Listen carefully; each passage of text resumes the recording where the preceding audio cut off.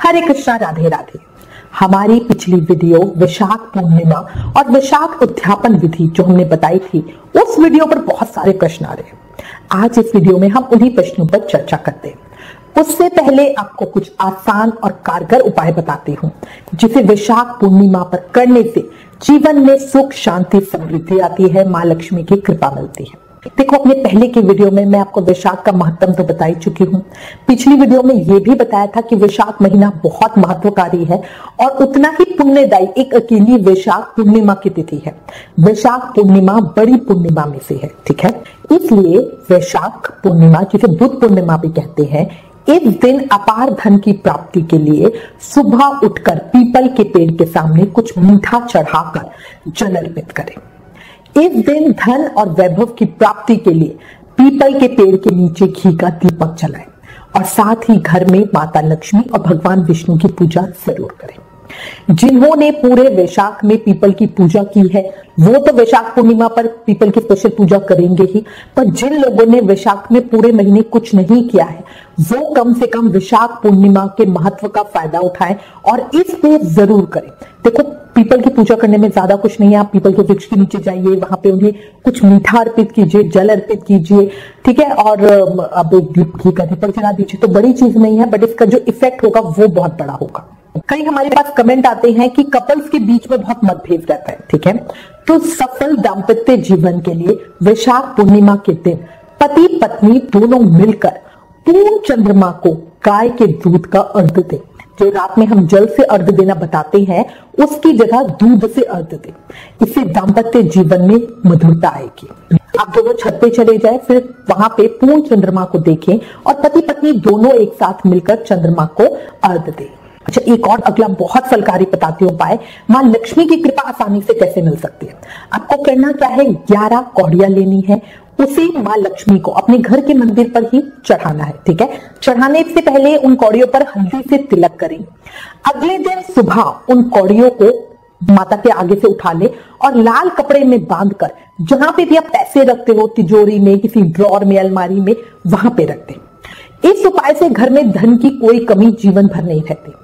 पर आपको एक और चीज़ याद रखनी है, इसके बाद मतलब ये आपने उपाय शुरू करा है वैशाख पूर्णिमा पर बट इसके बाद हर पूर्णिमा के दिन उन कौड़ियों को तिजोरी से बाहर निकालना है, फिर से माँ लक्ष्मी जी के सामने उन्हें रखना है और हल्दी का तिलक लगाना है, फिर अगले दिन नए लाल कपड़े में बांधकर फिर से तिजोरी में रखना है। तो ग्यारह कौड़ियाँ वही रहेगी, बस हर महीने, हर पूर्णमाशी पर आप ये दोबारा दोबारा करते जाएँगे।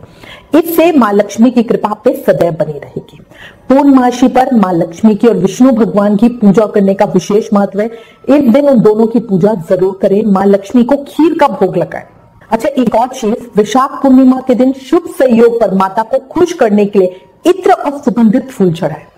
इत्र माता के वस्त्रों पर छिड़के और माता को घर में स्थायी रूप से निवास करने के लिए प्रार्थना करें। इससे माँ लक्ष्मी की बहुत बहुत उत्तम कृपा मिलती है। ठीक है? अब ये तो हो गए कुछ उपाय, जिससे जीवन में धन की कमी दूर होगी और महालक्ष्मी की कृपा बनी रहेगी। अब हम कुछ भक्तों के प्रश्नों की चर्चा करते हैं, ठीक है? पहला प्रश्न आया है, जो चीज़ें बताई हैं, वो कितनी कितनी चीज़ें दान करनी देखो मैं पहले भी बता चुकी हूँ कितना सामान दान करना है। ये हर साधक की अपनी मर्ज़ी, अपनी सामर्थ होती है, ठीक है? कभी भी शास्त्रों में ऐसा नहीं लिखना कि आपको पंद्रह किलो ही करना है। पंद्रह किलो के हो सकता है मेरी सामर्थ ना हो, ठीक है ना? क्योंकि हर किसी की फाइनेंशियल रिक्वायरमेंट तो अलग अलग होती है। इसलिए ये हर व्यक्ति के लिए अलग है। अब कुछ लोग कहते हैं कि इतना दान हम नहीं कर सकते। तो देखो, जितना कर सकते हो, उतना कर लो। बिल्कुल भी नहीं कर सकते हो तो तन से सेवा कर लो। जो कर सकते हैं, उनको दान करने के लिए हेल्प कर दो। कही है ना बड़े बड़े सेठ लोग ऐसे होते हैं, जो दान तो करना चाहते हैं, उनके पास पैसा होता है, बट समय नहीं होता तो आप उनको हेल्प करो, है ना? किसी को दान करने में मदद करोगे, वो भी बहुत बड़ी सेवा होती है। नाम प्रचार की सेवा कर सकते हो, ठीक है? आप कुछ नहीं कर सकते, घर में बैठ के भगवान का ध्यान तो कर सकते हो, उनका नाम जाप तो कर सकते हो, पाठ तो कर सकते हो, विष्णु सहस्त्र नाम का पाठ करो, भागवत पढ़ लो, ये भी सेवा होती है। ठीक है इसका भी बहुत उत्तम फल मिलता है। एक और चीज़ याद रखना, दस किलो आटा दान भी अनदान है और एक किलो आटा दान भी अनदान है। ये हमारी नियत पर निर्भर करता है और हमारी सामर्थ्य पर निर्भर करता है। हमारे घर के बजट पे, पॉकेट पे निर्भर करता है कि हम कितना करें। बाकी ठाकुर जी जानते हैं कि उन्होंने हमें कितना सक्षम बनाया है और हम क्या कर रहे हैं। ठीक है? उनसे कुछ नहीं छुपा। अच्छा अब अगला प्रश्न, बहुत कॉमन प्रश्न पूछा जा रहा है कि दान क्या सिर्फ़ ब्राह्मण को ही करें? देखो, विशाख महत्व हमने सुना, ठीक है? उसमें ब्राह्मण को दान करने का महत्व बताया।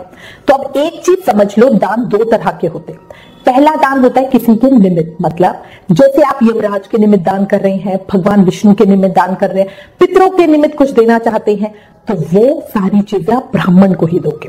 क्योंकि भगवान ने स्वयं ब्राह्मण को अपना अधिकारी बनाया है। ब्राह्मण के द्वारा ही चीज़ उन तक पहुँच सकती है, जिनके भी निमित्त आप दान कर रहे हो। ऐसा वृतांत हमें स्पष्ट रूप में विशाख महत्तम पद पुराण और स्कंद पुराण में मिलता है, ठीक है? अब दूसरा दान होता है पुण्य कर्म की इच्छा से किया हुआ दान। मतलब जब हम सिर्फ़ अच्छी भावना से या सिर्फ़ कर्म के लिए, अच्छे कर्म के लिए दान करते हैं मतलब किसी से को कुछ देते हैं, जैसे प्याऊ लगवाते हैं ये जर्नल है अच्छा काम है, ठीक है? इससे हमें पुण्य कर्म मिलता है। गरीबों में जल दान करना, फल दान करना, कपड़ा देना, या जरूरतमंदों को कुछ सामान देना, ये अच्छे शुभ कर्म में आता है। तो ये आप देखिए आप किस तरह कर रहे हैं। आप चाहे, जैसे हम एकादशी पे जर्नल दान करते हैं, ठीक है? और द्वादशी को अपने व्रत का पालन करते हुए ब्राह्मण को दान करते हैं। तो ये इसका दोनों का फ़र्क होता है। वैशाख पूर्णिमा को यमराज के निमित्त निकाला सामान और भगवान विष्णु के निमित्त निकाला सामान, सब हम ब्राह्मण को देंगे। ये ज़रूरी नहीं कि सारा सामान एक ही ब्राह्मण को दो। अगर आप चाहो तो दो चार ब्राह्मणों के बीच में सारे सामान को बांट सकते हो। एक प्रश्न आया कि कितने घड़े दान करने हैं? तो देखो, एक हम यमराज के निमित्त करेंगे, एक विष्णु भगवान और पितरों के निमित्त करेंगे। तो दो तो कम से कम चाहिए ही। इसके अलावा गरीबों के लिए भी हम देते हैं तो वो पूरी तरह से आपकी मर्ज़ी है। अच्छा देखो, भक्तों के प्रश्नों के उत्तर के बाद मैं एक और चीज़ कहना चाहूँगी। देखो, हम कार्तिक, माघ या वैशाख आदि महीनों में जो भी स्नान नियम लेते हैं तो महीने के आखिरी में उसकी पूर्ति या उद्यापन या पारण करते हैं। इसका मतलब होता है कि जो वैशाख मास का नियम इस बार मैंने लिया, वो पूरा हुआ। उद्यापन का मतलब होता है कार्य का समापन। इसका मतलब ये बिल्कुल भी नहीं है कि अब मैं आगे विशाख स्नान नहीं करूँगी, ठीक है? किसी भी मास में स्नान का नियम 12 साल का होता है। 12 साल हमें लगातार करना होता है। उसके बाद हम उसका उद्यापन करते हैं और फिर तेरहवें साल स्नान नहीं करते। वो होता है उद्यापन, पूरी तरह समापन। पर अभी जो ये दान यज्ञ हम कर रहे हैं, वो हम पूर्ति के लिए कर रहे हैं, ठीक है? तो ये बहुत सारे लोगों को कंफ्यूजन हो रही है तो इसलिए मैंने कहा मैं इस चीज़ को क्लियर कर देती हूँ। मैं उम्मीद करती हूँ इस वीडियो में दी गई जानकारी आपके लिए उपयोगी होगी। इससे रिलेटेड आपके पास कोई भी कमेंट या सजेशन है तो प्लीज़ हमें लिखें। ज्ञान बांटने से पड़ता है, इसलिए इस वीडियो को ज़्यादा से ज़्यादा शेयर करें। आप हमें फेसबुक और इंस्टाग्राम पर भी ज़रूर फॉलो करें। Please like share and subscribe thank you Hare Krishna.